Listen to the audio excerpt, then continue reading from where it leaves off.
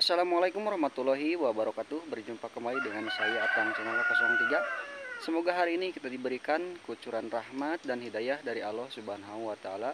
Senantiasa diberi milik dan rezeki baik kesehatan jasmani maupun segi materi. Amin ya robbal alamin. Di hari ini kami jalan-jalan di suasana pesawahan guys Untuk melihat kondisi pohon padi yang sedang di waktu hujan guys